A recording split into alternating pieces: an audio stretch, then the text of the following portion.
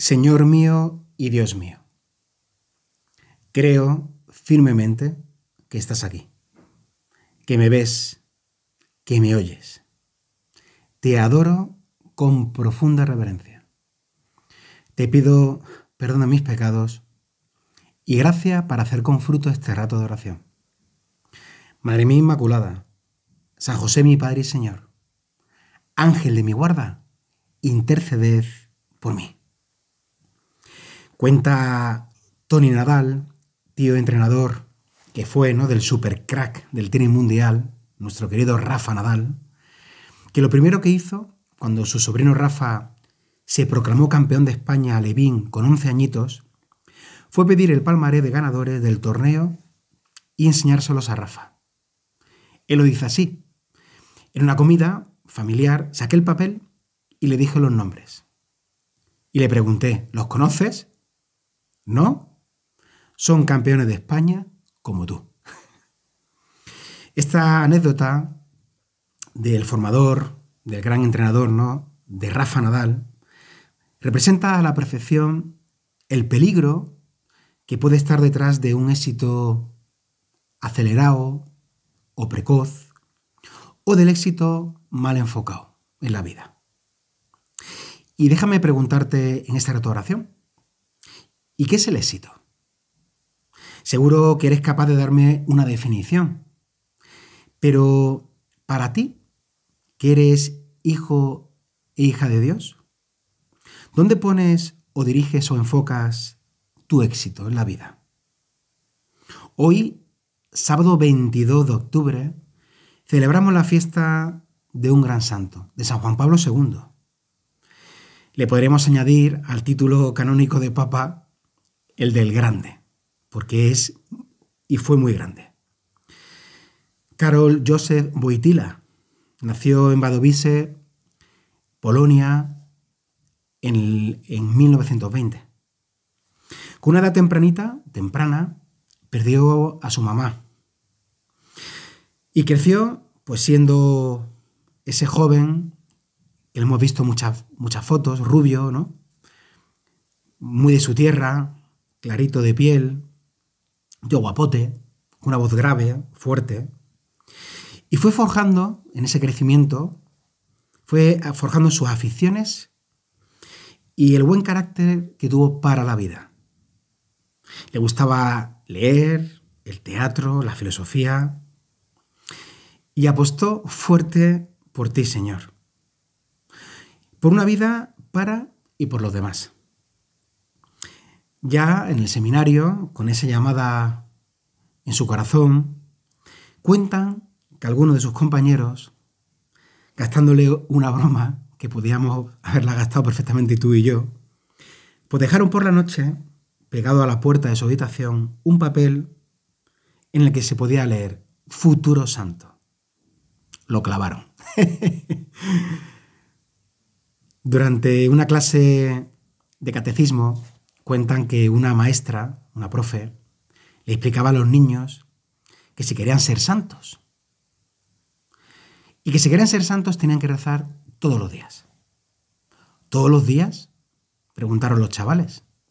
A su profe. Por supuesto, respondió ella.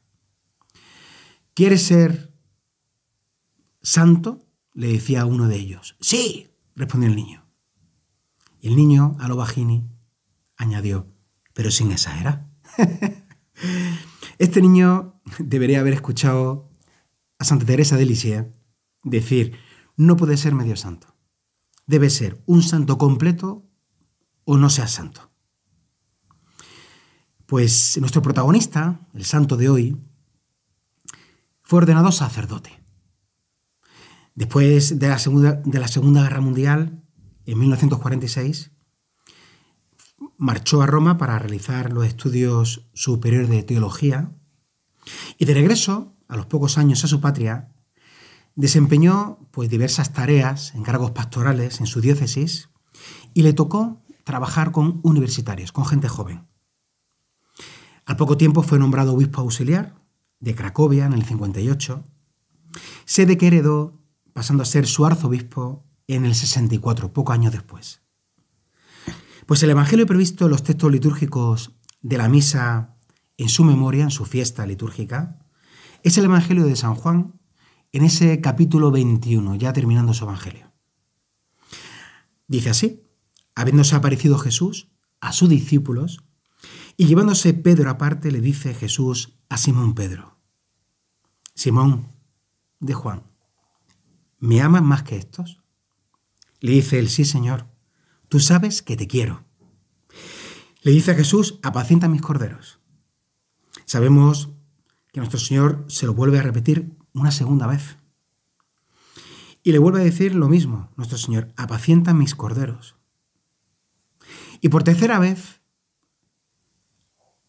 le vuelve a decir, pero en vez de me amas, Simón de Juan, ¿me quieres? Y Pedro se entristeció de que se lo preguntara por tercera vez. Y le dijo, Señor, tú lo sabes todo, tú sabes que te quiero. La respuesta tuya, Señor, fue clara, apacienta mis ovejas. El Señor, y nos llama la atención que en este Evangelio, además del grado de intimidad, porque sabemos que fue solo una conversación entre tú, Señor, y San Pedro, lo que está claro es que en esas preguntas hay un por qué y un para qué. De hecho, pasas del verbo amar al querer. Y nos damos cuenta, y así lo pensamos, que tú, Señor, te conformas con querer. De hecho, así terminas con la tercera pregunta. Él sabe, tú sabes más bien, Señor, que amar es difícil para nosotros, para el hombre, porque somos imperfectos. Pero el Señor también te pregunta ahora, en esta rato oración a ti, ¿me amas? ¿Me quieres? Y la respuesta es clara. Y claro que te amamos y te queremos, Señor.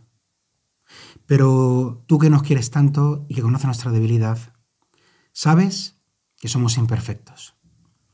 Y por eso esta lección que tienes con Pedro, además de darle la vuelta a esas renuncias, ¿no? y también alguna lección más que hay por ahí, también nos quiere dejar claro que te conformas con muy poquito. Pero ese poquito, Señor, que nos cuesta tanto, te lo queremos regalar y dar todos los días.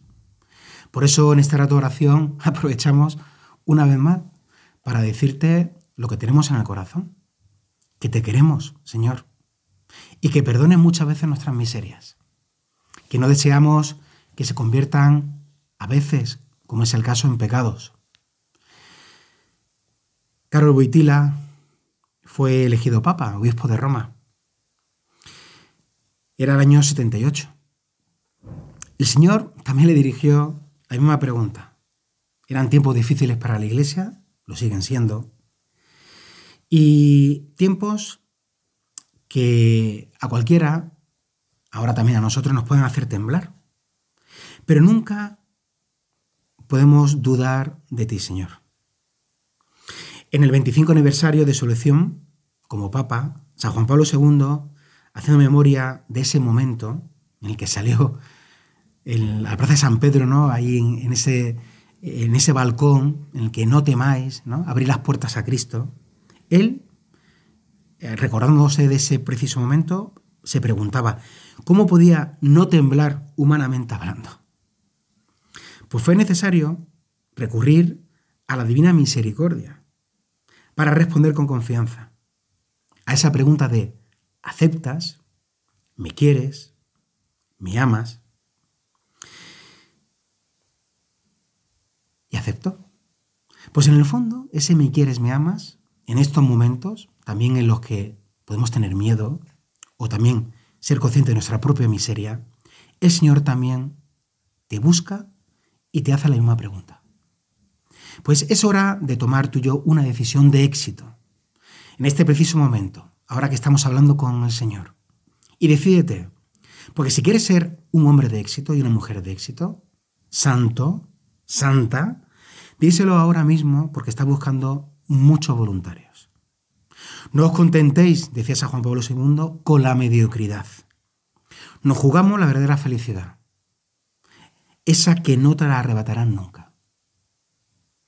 Se distinguió San Juan Pablo II por esa actividad apostólica extraordinaria, enfocada a las familias, a los jóvenes, a los enfermos, con esas visitas pastorales por todo el mundo. Y muchos son los frutos. ¿eh? Falleció, ya lo sabéis bien, en ese 2 de abril de 2005, después de la Semana Santa. Todos tenemos en nuestra memoria grabada la escena rezando el ángelus en la que se apareció esa paloma. San Juan Pablo II, a ti te encomendamos, en tu día, en tu memoria, en tu fiesta, porque tú sé que has sido un hombre de éxito, de ejemplo, un hombre auténtico, que sin lugar a dudas nos diste una gran lección porque todo estaba fundamentado en tu relación con Dios. ¿Por qué no te decides, decía San José María, a entregarte a Dios de una vez por todas, de verdad, ahora? Pues María, reina de todos los santos, señora de éxitos, de los verdaderos hombres y mujeres de éxito en esta tierra, ayúdanos a dar frutos de santidad, porque queremos totalmente ser santos de altar. Te doy gracias, Dios mío, por los buenos propósitos, afectos, inspiraciones que me has comunicado en estos 10 minutos contigo, Jesús.